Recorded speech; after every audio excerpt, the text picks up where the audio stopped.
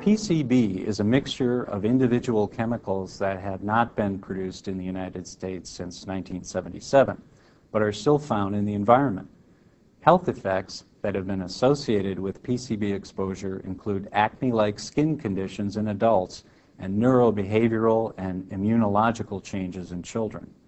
You may have a legal right to compensation if you've been affected by a PCB exposure.